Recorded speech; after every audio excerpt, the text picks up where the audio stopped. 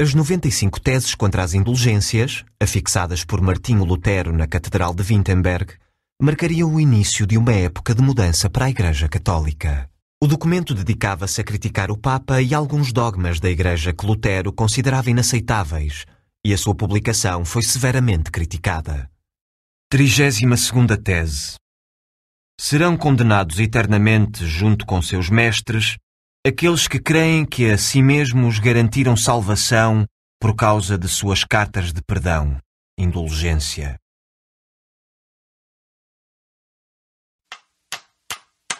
O padre alemão acabou por ser excomungado pelo Papa.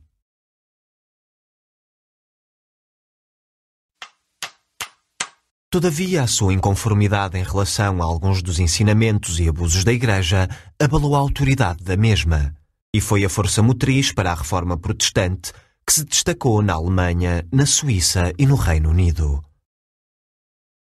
Lutero afastou-se da Igreja, traduziu a Bíblia para alemão, usou-a como a única fonte de fé e criou uma nova doutrina, o luteranismo, que tinha como pilar fundamental a justificação pela fé.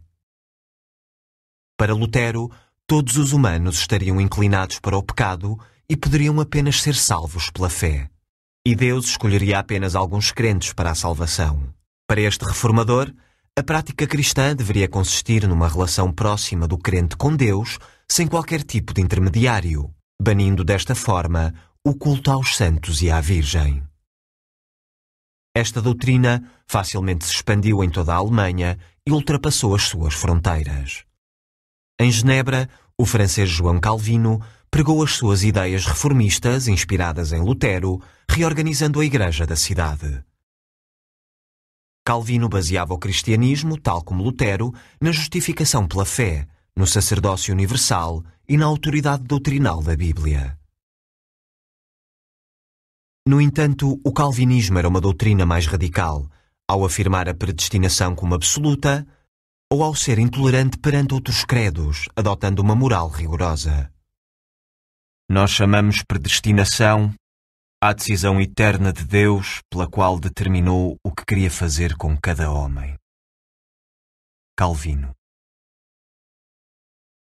No Reino Unido, Henrique VIII rompeu com a Igreja de Roma após o Papa ter recusado o pedido de anulação do seu casamento com Catarina de Aragão. Para contornar esta questão em seu benefício, o monarca promulgou o ato de supremacia. O rei é o único chefe supremo da Igreja de Inglaterra. O Ato de Supremacia, 1534. No entanto, apesar de ter autorizado a tradução da Bíblia para inglês, Henrique VIII manteve-se fiel ao dogma católico. Só em 1559, o protestantismo ganharia forma na Igreja de Inglaterra com a subida ao trono de Isabel I que depois dos reinados curtos dos seus meios-irmãos Eduardo VI e Maria Tudor, estabeleceu o anglicanismo através da Declaração dos 39 Artigos, onde a Igreja de Inglaterra assumia um compromisso religioso entre o catolicismo e o calvinismo.